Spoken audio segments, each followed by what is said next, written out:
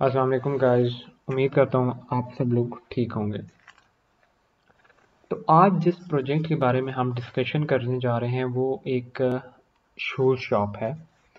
जैसे कि आप लोगों ने देखा होगा कि ई कॉमर्स की वेबसाइट जिस तरीके की होती हैं, उसके अंदर डिफरेंट प्रोडक्ट्स होते हैं। यूज़र अपनी मर्ज़ी से डिफरेंट प्रोडक्ट्स को बाई कर सकता है। इसी तरीके से हमने जो एक वेबसाइट बनाई है वो शू शॉप है। इसमें डिफरेंट कैटेगरीज नहीं होंगी, बल्कि सिर्फ़ जो जूतों से रिलेटेड कैटेगरी है मींस के डिफरेंट शूज़ हैं, वो सिर्फ़ इसके अंदर होंगे। और यूज़र जो है, वो अपनी सहूलत के मुताबिक जो भी उसको जूता पसंद आता है, वो उसको बाय कर लेगा। तो सबसे पहले मैं आपको ये जो फाइल्स हैं, इनके बारे में आपको थोड़ा सा मैं बताता चलता हूँ। तो सबसे पहले जो यहाँ पर आपको शूज़ वन का नाम जो दिख रहा है ये हमारे पास एक फ़ोल्डर है। और उस फोल्डर के अंदर हमने क्या काम करना होता है सबसे पहले हम अपना एक प्रोजेक्ट क्रिएट करते हैं जिसका नाम हमने रख दिया है शूज़ शॉप शूज़ शॉप के अंदर हमने आ, क्या काम करना होता है? हमने सबसे पहले एक अपनी ऐप को हम क्रिएट कर रहे हैं। शूज़ शॉप हमारे पास प्रोजेक्ट है। उस प्रोजेक्ट के अंदर हम अपनी ऐप को क्रिएट कर रहे हैं। ऐप के अंदर हमने क्या काम किया हुआ है? बल्कि मैं आपको सबसे पहले वेबसाइट को रन करके दिखाता हूँ। फिर मैं आपको साथ साथ फ़ाइल के बारे में भी बताता जाऊँगा तो आपको अच्छा अंदाज़ा होगा। सबसे पहले जो हम काम करते हैं, वो ये है कि अभी हम अपनी प्रोजेक्ट के अंदर हैं। सॉरी अपने फोल्डर के अंदर हैं। तो हमने सबसे पहले अपने प्रोजेक्ट के अंदर आना है। अगर हम प्रोजेक्ट के अंदर नहीं होंगे फोल्डर के अंदर ही घूम रहे होंगे तो हमारे पास, जो वेबसाइट है, वो डिस्प्ले नहीं होगी, हमें एरर शो कर देगी। सबसे पहले हमने क्या करना है कि प्रोजेक्ट के अंदर जाना है, और उसके लिए हम लिखेंगे सी और अपने प्रोजेक्ट का नाम लिख देंगे यहाँ पर, जो कि है शो शॉप सॉरी यहाँ पे आई थिंक सो मैंने स्पेलिंग मिस्टेक कर दी है।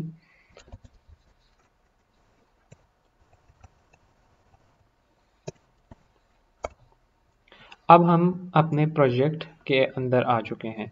अब मैं यहाँ पर लिखूँगा python manage dot P Y run server ये कमांड हमारे पास जो हमारी वेबसाइट बनी हुई है, उसको डिस्प्ले करेगी।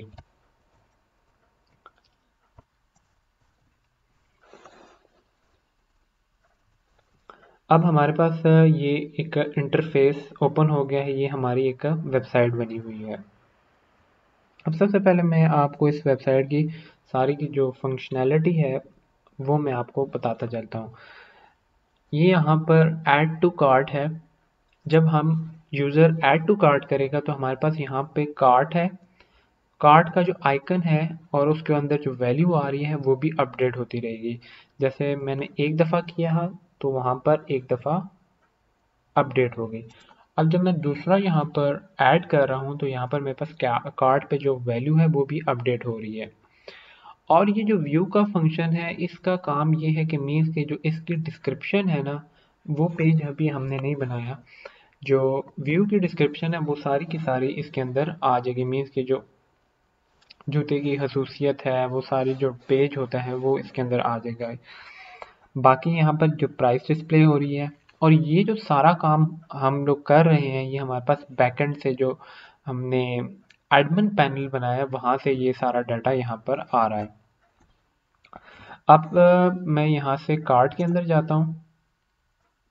तो कार्ड के अंदर हमारे पास ये सारी फीचर्स आ गए मीन यहाँ कर, यहाँ पर मैं आके क्वांटिटी को इंक्रीज भी कर सकता हूँ डिक्रीज भी कर सकता हूँ इवन के ख़त्म भी कर सकता हूँ। अब मेरे पास यहाँ पर प्राइस जो थी इस जूते की वो 45 डॉलर है। यहाँ पर मेरे पर, ऊपर भी 45 डॉलर आ रहा है और यहाँ पर जो आइटम है, वो भी मेरे पास वन है। अब जब मैं यहाँ पर टू करूँगा तो मेरे पास यहाँ पर भी अपडेट हो रहा है और यहाँ पे भी प्राइस अपडेट हो रही है और यहाँ पर अपडेट सारा हो रहा है। फिर उसके बाद जब मैं चेकआउट करूँगा तो अब यहाँ पर जो मेरे पास चेकआउट का जो पैनल ओपन हुआ है, इसमें वो मुझसे मांग रहा है नेम और ईमेल अब यहाँ पर नेम में एंटर करूँगा और यहाँ पर जिप कोड जब मैं एंटर करके कंटिन्यू करूँगा तो मेरे पास पेपॉल और डेबिट कार्ड और पे लेटर ये सारी पेपॉल की हैं, ये मेरे पास सारी जो फीचर्स हैं वो नीचे आ जाएँगे। अब यहाँ पर इशू ये है क्योंकि हम पाकिस्तान से बिलोंग करते हैं। तो पाकिस्तान में पेपॉल हमारे पास अवेलेबल नहीं है। तो क्योंकि यहाँ पर ये एक अभी लाइव वेबसाइट नहीं है, ये सिर्फ़ एक डेमो वेबसाइट है। तो उसके लिए हमने यहाँ पर पेपॉल का जो डमी अकाउंट होता है, वो क्रिएट करना होता है। लेकिन अफसोस से पाकिस्तान के अंदर ये मौजूद नहीं है, जिसकी वजह से हम इसको क्रिएट नहीं कर सकते और हम इसको यूज़ नहीं कर सकते। बाकी अगर यहाँ पर ये फ़ंक्शन चल रहा होता तो यूज़र यहाँ से पेपॉल पे क्लिक करता, अपनी अकाउंट की डिटेल्स यहाँ पर देता और उसके बाद वहाँ पर अप्रूव का ऑप्शन आता। वो जब उस पर क्लिक करता तो हमारे पास यहाँ से जो डाटा है यूज़र की इंफॉर्मेशन वो हमारे पास बैकएंड जो एडमिन पैनल है, वो मैं आपको बाद में दिखाऊँगा, उसके अंदर चला जाता।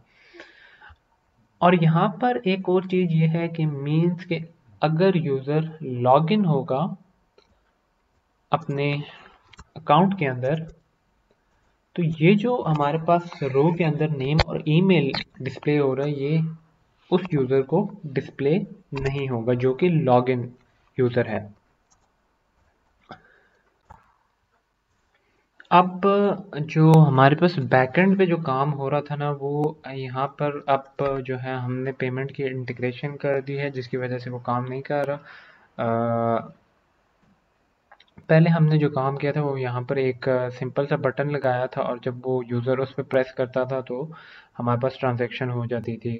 तो बैकेंड पे क्योंकि हमने पहले भी एक बटन सिंपली बटन के ज़रिए एक जो ट्रांजेक्शन की थी तो अब जो बैकेंड हम ओपन करके देखते हैं, वो मैं आपको ज़रा दिखा देता हूँ।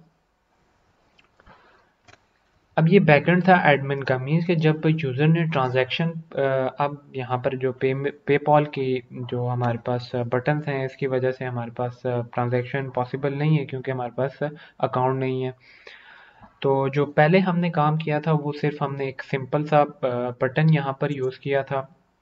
यूज़र उस पर प्रेस करता था और ट्रांजैक्शन हो जाती थी और जो डाटा था वो बैकेंड पे आ जाता था। तो जो हमने पहले एक दफ़ा किया था मीन्स के कस्टमर ने अपनी सारी डिटेल्स एंटर की थी। यहाँ पर उसकी ईमेल और आ, नाम आ जाता था और जो उसका शिपिंग एड्रेस था वो भी सारा का सारा यहाँ पर आ जाता था। जैसे कि हमारे पास ये यहाँ पर जो वैल्यूज़ है ना वो वहाँ पर हमारे पास स्टोर हो जाती थी। कि उसके ऑर्डर में क्या चीज़ है? ऑर्डर उसके कितने ऑर्डर्स हैं? उसके ऑर्डर्स की आइटम्स क्या हैं?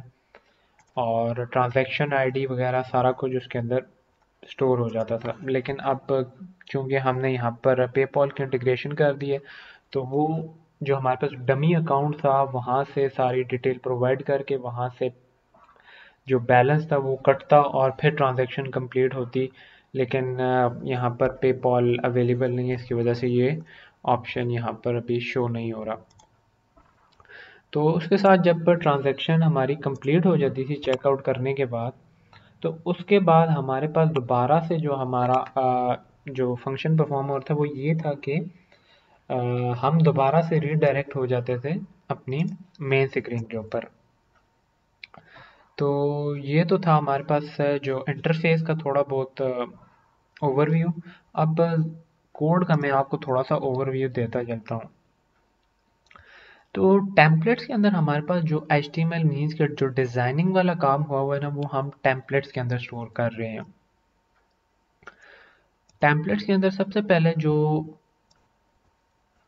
यहाँ पर जो ये स्टोर है ना हमारे पास स्टोर का जो HTML का जो कोड है, वो हमारे पास जो आउटपुट दे रहा है, वो ये हमारी जो मेन पेज है ना, वो ये सारी आउटपुट यहाँ पर आ रही है। अब ये यहाँ पर काम क्या हो रहा है कि extend store main dot H T M L means कि हमने जो डिज़ाइनिंग वाला काम किया हुआ है, वो हमने H T M L main H T M L के अंदर किया हुआ है। मीन्स कि जो हमारी नैप बार है और नैप बार और पिक्चर्स वगैरह, वो यहाँ पर आ रही हैं। तो इसको हमने एक्सटेंड कर दिया है बाकी तमाम एचटीएमएल के साथ, ताकि हमारे पास जो भी मीन्स कि आप, ये हम मेन पर है, हमारे पास नैव बार शो हो रहा है। जब हम कार्ड पे जाएँगे, फिर भी हमारे पास नैव बार शो हो रहा है। तो वो जो हमारा मेन जो है ना, जहाँ पर हमने अपना नैव बार दिया है तो हम उसको जो बाकी एच की जो फाइल्स हैं, उसके अंदर एक्सटेंड करवा रहे हैं। बाकी ये यहाँ पर हमने एक डेव की क्लास बनाई है। सबसे पहले तो हमने एक रो ली है, फिर उसके अंदर हमने डेव की क्लास बनाई है। और इमेज जो आ रही है, वो यहाँ से आ रही है। और ये जो यहाँ पर फ़ंक्शन यूज़ हुआ है ये हम डाटाबेस से इमेज का जो है ना यूआरएल ले रहे हैं। और यहाँ पर हम उसको डिस्प्ले करवा रहे हैं। ये जो पिक्चर हमारे पास है, वो यहाँ पर डिस्प्ले हो रही है। इसी तरीके से चेकआउट का जो पेज है, वो हमारे पास, जो डिस्प्ले पर है, ये हमारे पास जो टेक चेकआउट का जो पेज है, जो डिज़ाइनिंग सारी हुई हुई है, वो इस एच के अंदर हुई हुई है। इसी तरीके से कार्ड की जो डिज़ाइनिंग है, वो इस कार्ड की फ़ाइल के अंदर हुई हुई है। और जो हमने स्टैटिक यहाँ पर जो फोल्डर बनाया है, ये हमने इसलिए बनाया है कि हम इसके अंदर अपनी जो सी एस एस जो डिज़ाइन वगैरह देने के लिए होता है, अपने एलिमेंट्स को, वो इसके अंदर सारा अपनी कोड वगैरह इसके अंदर किया हुआ है और इमेजेस मीन्स के जो हम आइकन वगैरह यूज़ कर रहे हैं, वो इस फ़ाइल के अंदर हमारे पास है। अब, जो हमारी मेन फ़ाइल जो है ना, वो मॉडल्स की है। मीन्स के जो डाटाबेस के अंदर, जैसे कि मैंने आपको एडमिन पैनल के अंदर जो ये दिखाए हैं, ये जो हमारे पास जो एट्रीब्यूट्स जो फील्ड्स हैं, वो हम मॉडल्स के अंदर क्रिएट कर रहे हैं। हमारे पास कस्टमर का मॉडल है, हमारे पास प्रोडक्ट का मॉडल है, हमारे पास ऑर्डर का मॉडल है, और ऑर्डर आइटम का मॉडल है शिपिंग एड्रेस का मॉडल है। और ये सारे जो है ना नाम हमारे पास यहाँ पर डिस्प्ले हो रहे हैं। Customer order items order product shipping address लेकिन ये हमारे पास डायरेक्टली अपेयर नहीं होते। इसके लिए हमें क्या काम करना पड़ता है? हमें आ,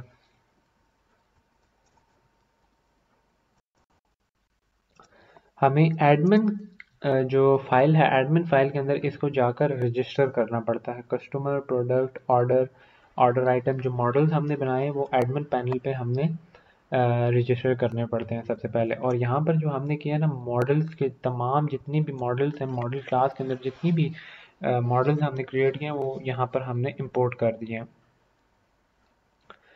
बाकी उसके बाद व्यूज़ व्यूज़ में हमारे पास जो फ़ंक्शन जो सारे परफॉर्म हो रहे हैं, वो व्यू के अंदर परफॉर्म हो रहे हैं मीन्स के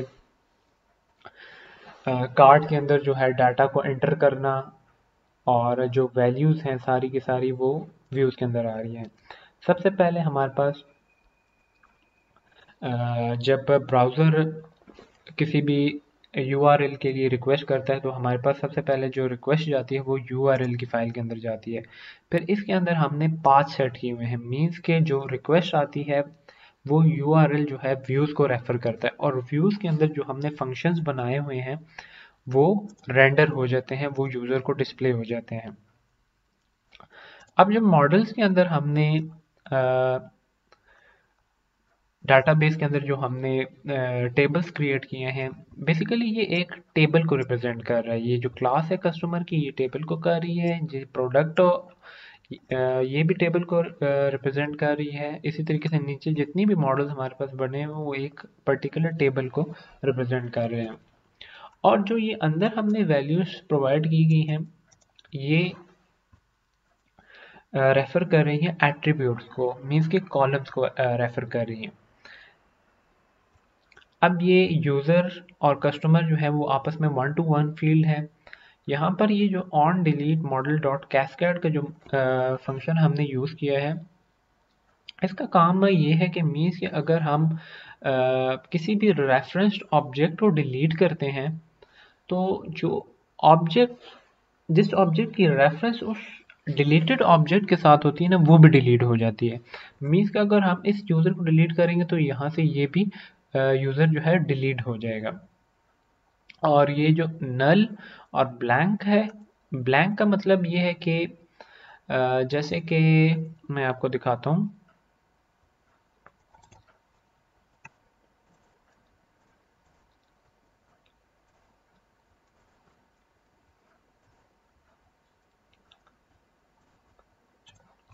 ब्लैंक जो है हमारे पास यहाँ से ये जो है ना रिक्वायर्ड है कि नहीं है, ये चीज़ जो है ना हमारे पास, वो उसको शो करती है। मीन्स कि जब मैं इस पे आपको दिखाता हूँ।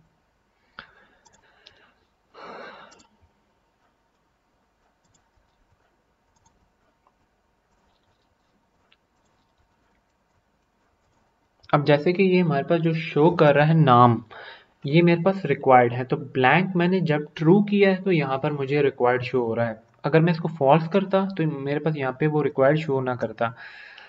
ब्लैंक uh, जो है ना वो हमारे पास यूज़ होता है सिर्फ़ और सिर्फ़ ये जो रिक्वायर्ड जो हमारे पास जो शो नहीं करता रिक्वायर्ड मीन्स के पर्टिकुलर इन्फॉर्मेशन रिक्वायर्ड है। आप जब तक इसको एंटर नहीं करेंगे तो आपका जो है फर्दर प्रोसीडिंग नहीं हो सकती। और जो ये नल होता है, ये डाटाबेस रिलेटेड होता है। मीन्स के जो आपके डाटाबेस के अंदर जो कॉलम्स बने, उसके अंदर जो वैल्यू आती है, वो नल आ सकती है। इसलिए यहाँ पर नल ट्रू किया गया है। और इसी तरीके से ये नेम की जो है मीन्स के कैरेक्टर फ़ील्ड आपकी मैक्सिमम लेंथ 200 हो सकती है। इसी तरीके से नीचे जितने भी मॉडल्स बने हैं, उनमें भी यही काम हुआ हुआ है। बाकी बाकी ये काम हमने जो इस वेबसाइट के अंदर किया है, अब जैसे कि हम यहाँ से लॉगिन नहीं हुए हुए तो वेबसाइट हमसे हमारा नाम और ईमेल मांग रही है। अगर हम लॉगिन हो जाते हैं, अगर यूज़र लॉगिन होता है, और वो किसी भी आइटम को परचेज करने लगता है तो जब वो चेकआउट पे जाता है तो उसके लिए उसको नाम और अपना ईमेल डालने की ज़रूरत नहीं होती। बाकी जो हमने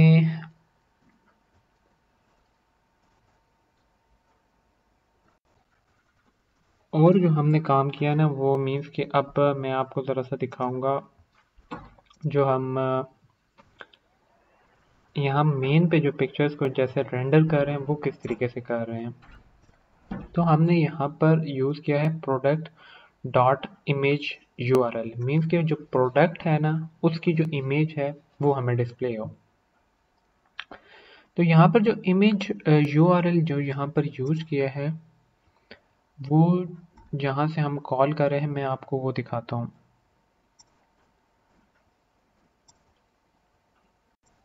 वो हम मॉडल्स के अंदर उस काम को कर रहे हैं। अब ये काम हो रहा क्या है? मीन्स के अगर, अब यहाँ पर ये काम ये हो रहा है कि अगर मेरे पास इमेज है तो वो यूआरएल को रिटर्न कर दे उस इमेज के लिंक के साथ।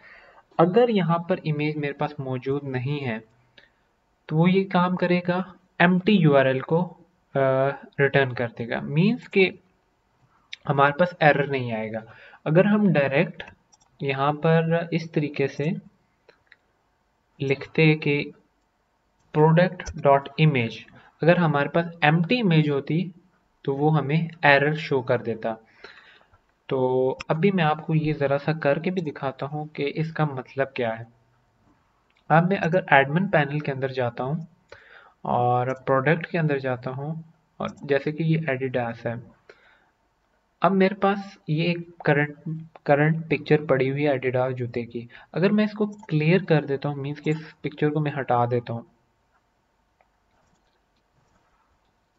तो जो मेरे पास आउटपुट डिस्प्ले होगी, वो ये यहाँ से पिक्चर चली गई है। मेरे पास एरर शो नहीं हुआ। मेरे पास मेरी वेबसाइट फुली फंक्शनल है।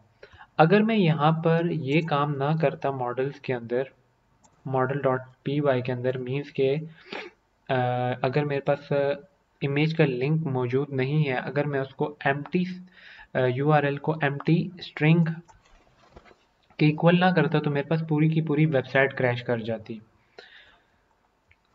और जो इसमें हमने जो मेन काम किए हैं, वो हैं कि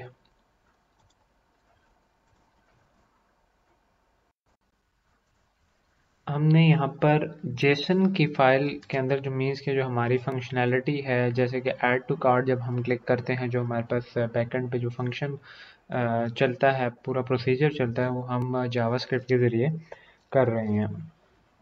अब यहाँ पर हमने एक इवेंट लिसनर का यूज़ किया है फ़ंक्शन कि जब यू, यूज़र क्लिक करेगा बटन के ऊपर तो हमारे पास ये फ़ंक्शन कॉल हो जाएगा। अगर तो यहाँ पर हमने इफ़ एल्स लगाई है। इसका क्या मतलब है? If user is un anonymous user means कि यूज़र लॉग्ड इन नहीं है तो हमारे पास ऐड कुकी आइटम अब ये जो कुकी आइटम का जो हमने फ़ंक्शन यूज़ किया है कि अगर यूज़र जो है लॉग्ड इन नहीं है तो हमने ब्राउज़र के अंदर एक कुकी कार्ट के नाम की एक लिस्ट जो है ना, वो दे दी है। मीन्स के अगर यूज़र दोबारा आना चाहे बगैर लॉगिन किए हुए तो उसके पास जो पुरानी कार्ड के अंदर ऑर्डर्स पड़े हुए हैं, वो उसके अंदर कुकीज़ के अंदर हमारे पास स्टोर हो जाए। लेकिन वो बैकएंड पे स्टोर नहीं हो रहे, वो कुकीज़ के अंदर स्टोर रहे, हो रहे हैं। लेकिन अगर यूज़र लॉक्ड इन है तो मेरे पास यहाँ पर अपडेट कर देगा यूज़र के ऑर्डर को। मीन्स के मेरे पास जो कार्ट के अंदर जो उसकी वैल्यूज़ पड़ी हुई है, वो मेरे पास बैकेंड से आएँगी। इसी तरीके से ये यहाँ पर हमने अपडेट ये जो यहाँ पर ऊपर फ़ंक्शन जो कॉल किया हुआ है, उसकी जो हमारे पास बॉडी है, वो ये है। अब यहाँ पर हम हम फैच कर रहे हैं यू आर एल मीन्स के डाटा कहाँ सेंड करना है और किस टाइप का, और जो दूसरी आर्गूमेंट है मीन्स कि किस टाइप का डाटा जो है वो सेंड करना है। मेथड पोस्ट मीन्स की कौन सी टाइप है हेडर और हमने पोस्ट टाइप का जो डाटा जब हम बैकएंड पे सेंड करते हैं तो उसके लिए हम टोकन को यूज़ करते हैं। फिर हमारे पास यहाँ पर रिस्पॉन्स आ रहा है। उस रिस्पॉन्स को जो है हम जेसन फॉर्मेट में यहाँ पर कन्वर्ट कर रहे हैं। और पेज को हम दोबारा से रीलोड कर रहे हैं। मींस के जो भी जैसे कि कार्ड के अंदर जो वैल्यूज़ जो है ना, वो अपडेट होती हैं तो एकदम से हमारा पेज रीलोड होता है। लेकिन वो, उसकी जो टाइमिंग होती है, वो इतनी माइनर सी होती है कि एक ह्यूमन आई जो है ना, उसको जज नहीं कर सकती। मीन्स कि वो एकदम इतना जल्दी वो रिलोड होता है।